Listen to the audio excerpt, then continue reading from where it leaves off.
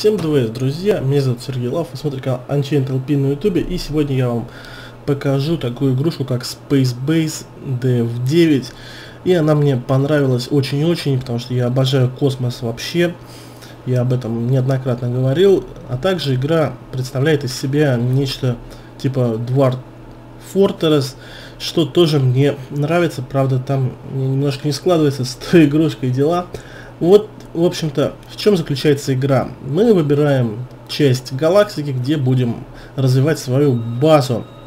Скажу сразу, игра находится на стадии раннейшей альфа, то есть это буквально первый альфа-билд. Кстати, я уже, по-моему, шутил на тему того, что скоро игры будут продавать еще на момент написания диздока, хотя, подождите, их уже, по-моему, и так продают на Кикстартере в таком виде. В общем, как бы то ни было, в игре сейчас очень мало чего реализовано. И давайте уже начнем строить где-нибудь свою базу. Ткнем, наверное, вот сюда. Мне нравится вот тут такая пестренькая э, местечко. Правда, показатели показывают, что они ridiculous low, что не очень приятно, хотя это особого значения иметь не будет.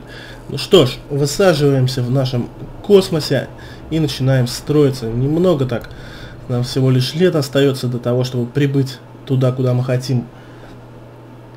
Так, ну же, Итак, вот они мы, космические поселенцы. Три человека и... Так, надо нажать на паузу. Вот. Собственно, здесь и будет происходить все действие игры, вся наша база. И сейчас у нас всего есть 8 минут кислорода. И если мы не успеем за это время себе ничего построить, то есть если вы завтыкаете, то наши ребята умрут, и можно будет заново начинать, потому что больше делать здесь будет нечего. Также у нас есть 2000 материалов и вот такая вот капсула спасательная. Если честно, я не знаю, почему с таким маленьким количеством ресурсов нас сюда закидывают. Такое ощущение, это не космическая экспансия, а какие-то беженцы-голодранцы. Начнем мы строить все, естественно, с комнаты. Давайте выберем вот такой, наверное, размер комнаты.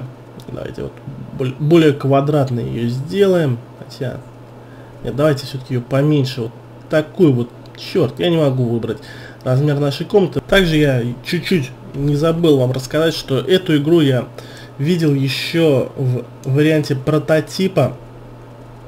Тогда она имела вообще другой графический движок и выглядела, скажем так, не очень красиво, в том плане, что графика была не в том, не просто плохая, она была какая-то корявая и неудобная. И я очень ждал и надеялся, что игра выйдет попозже в лучшем варианте. И вот я дождался наконец-то. Так, ладно, будем делать это. Также нам наш, наших ребят, видите, у них есть профессия. Их нужно на эти профессии назначать. Строители у нас неудачные. Вот это все рандомно определяется. И первые три поселенца не очень хорошо у нас распределились. Вы видите всего по одной звезде. Это не очень приятно. Так, можно запускать время теперь. Они начнут строить вот это вот помещение. Как я уже говорил, в игре реализован сейчас такой минимум абсолютный, чтобы вам было наглядней.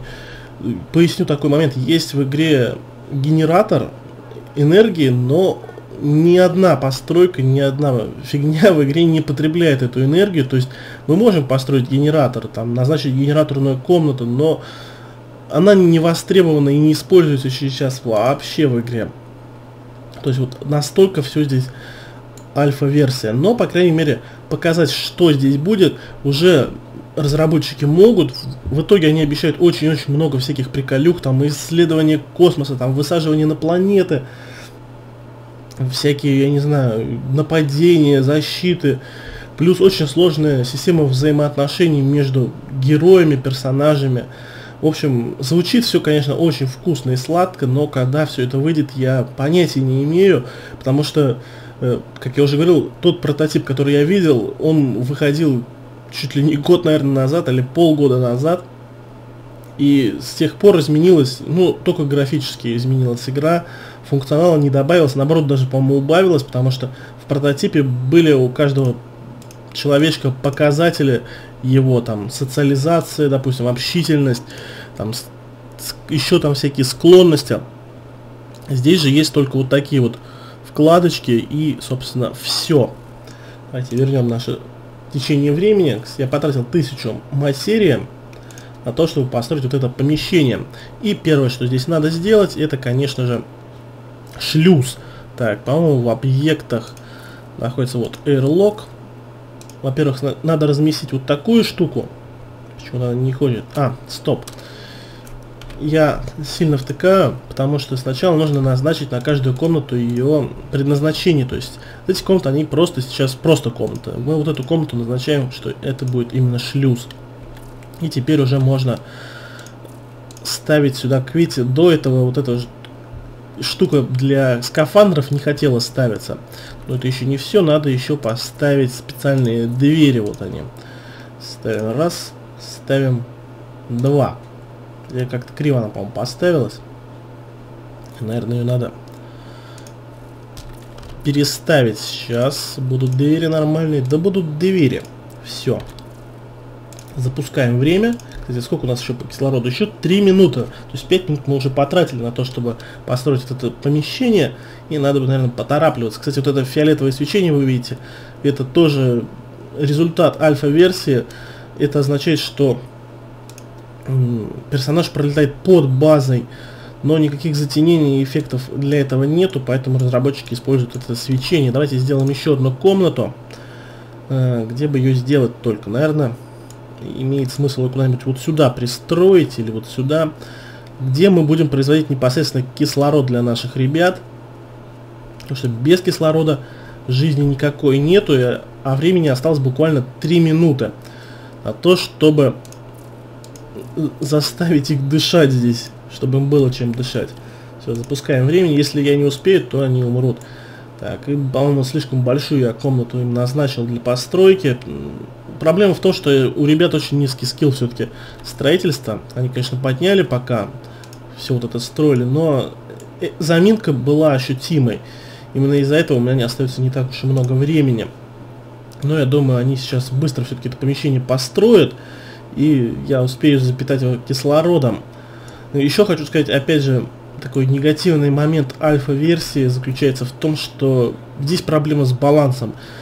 В том плане, что у каждой постройки есть ее прочность, вот видите, состояние 99, то есть хорошее, и оно портится, оно портится при этом с такой скоростью, что даже если весь, абсолютно весь персонал, который у меня будет, допустим, там 15 человек, я назначу на обслу техобслуживание, то есть они будут ходить, инспектировать состояние и чинить его.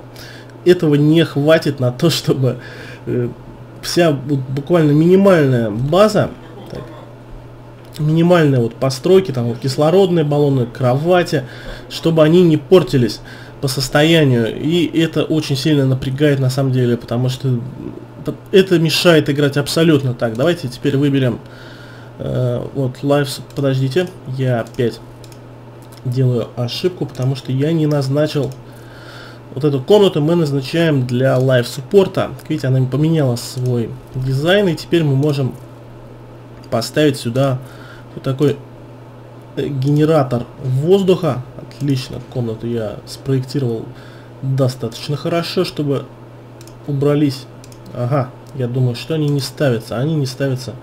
Пофиг знает почему на самом деле. А, у меня 298 материи. По стольнику я отдам сейчас вот за эти. Точно. И у меня не остается материи совершенно. Так, сейчас они, да, строят.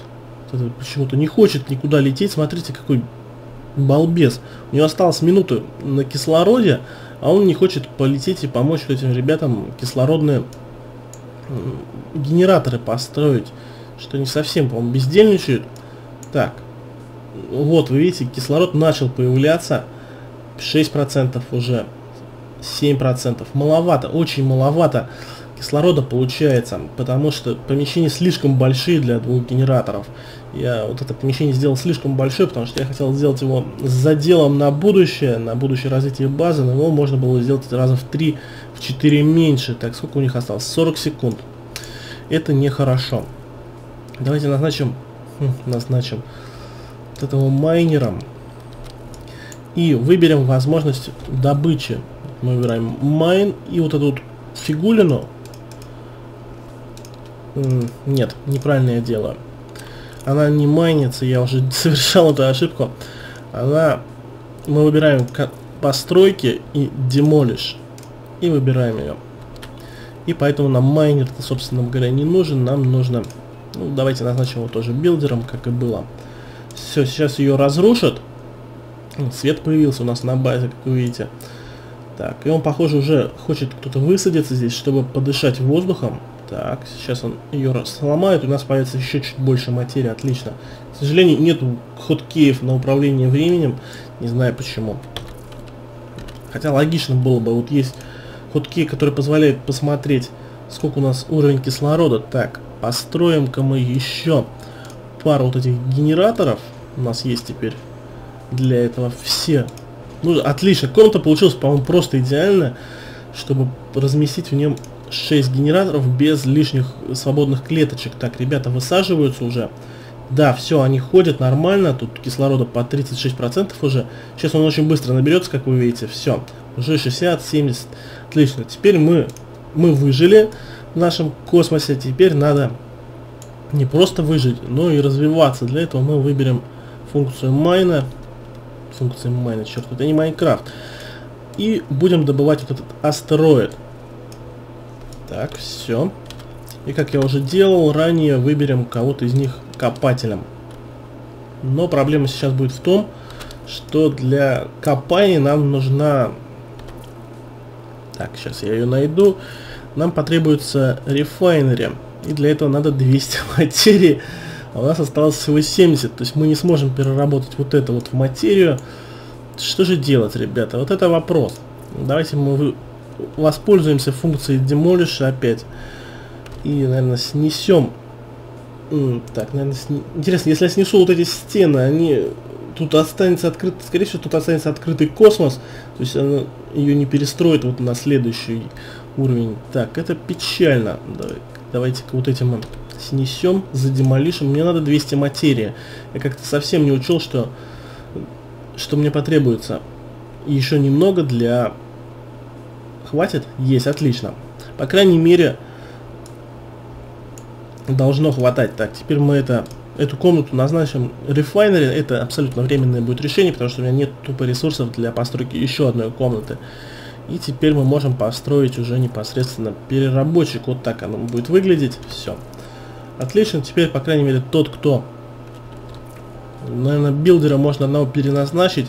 Назначить вот одного техника, как я уже сказал, вот видите, уже 97%, на генераторах у первых уже 94%, хотя, по сути дела, прошло всего несколько игровых минут, то вы, думаю, со мной согласитесь. А поломка уже очень-очень значительно. Так, вот один человечек полетел добывать ресурсы. Так, я бы еще хотел показать, как сюда прибывают новые экипажи и появляются другие чужие базы, то есть появляется контекстный диалог. И мы, если соглашаемся, то может появиться бац, и там корпус, чей-то корпус, в общем, инопланетян каких-нибудь. Они тоже будут селиться там, развиваться.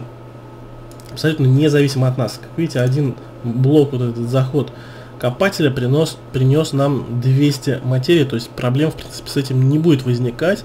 Так, давайте построим, знаете, еще кое-какие объекты. Это вот пожарный щиток. Почему? Потому что очень часто будут возникать пожары. Ну и монитор можно поставить, чтобы ребятам было не скучно. Давайте поставим монитор. Вот. Пока будет перерабатываться руда, они будут смотреть фильмы, которые с собой привезли. Хотя, с учетом того, насколько скуден был их запас того, что они привезли. Так, у нас builder, да, я одного builder а все-таки оставил.